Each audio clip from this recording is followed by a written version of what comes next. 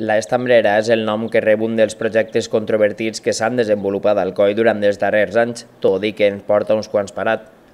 Suposa la construcció d'un projecte urbanístic al costat del llit del riu Polop i del pont de Sant Jordi, dins del perímetre del centre històric Alcoyà. Fins ara hi han construïts dos edificis, que suposen la primera de les tres fases que composen el projecte total, encara que les dues restants van ser aturades per l'esclafit de la crisi econòmica. Ara, la constructora Miragolf ha presentat a l'Ajuntament d'Alcoi el projecte per escometre la segona fase del pla. L'informe, que obra en poder dels tècnics municipals d'urbanisme, comprèn la construcció de dos edificis, un anexe als actuals i altre al carrer Balmes. Durant la passada legislatura, el govern bipartit va lluitar espentat per Esquerra Unida contra la finalització total d'aquest projecte que consideren il·legal per estar massa prop de la zona d'interès cultural del centre d'Alcoi. Ara el govern socialista assegura no tindre capacitat de reacció, hagut compte que l'empresa compta amb la llicència des de l'època Sedano.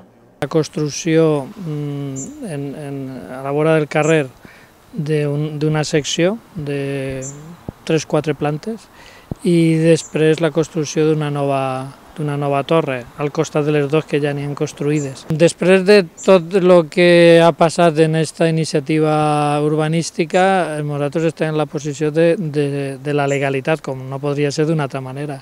Aleshores, eh, ha entrat el projecte, està valorant-se per part dels tècnics i si complís la normativa eh, s'aprovarà. De fet, el que es proposa ara ja, ja té una altura inferior i té una tradició diferent a lo que va fer en el primer moment de les dues torres que estaven molt a prop del pont. En el seu moment Esquerra Unida sí que va anar al juzgat, no va guanyar, i per tant nosaltres no, no, no anem a fer res eh, que no sigui la legalitat.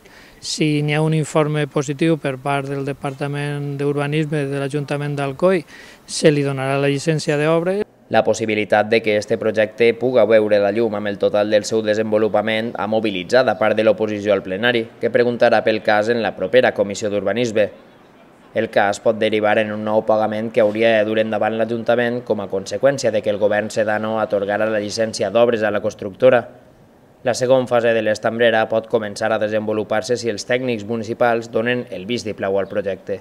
Ara s'han demanat informes a les diferents eh, regidories i conselleries i en el moment que entren aquests informes pues el Departament d'Urbanisme farà una proposta ve a favor o en contra, no? però em farà una proposta que si és a favor tindré que signar-la. La valoració és que si està dins de la legalitat seria la primera obra eh, que es fa des de, des de l'inici de la crisi. No? Per tant, la valoració seria positiva en el, en el sentit de que n'hi ha un moviment de la dinamització econòmica de la ciutat i, i és el que jo també com a regidor de promoció econòmica eh, m'alegre. Seria la primera obra gran, de, crec que són 56 vivendes, la primera obra gran que es fa en Alcoi des de l'inici de la crisi. Pense que en, este, en el que queda de mes estarà, estarà ja la proposta de llicència d'obres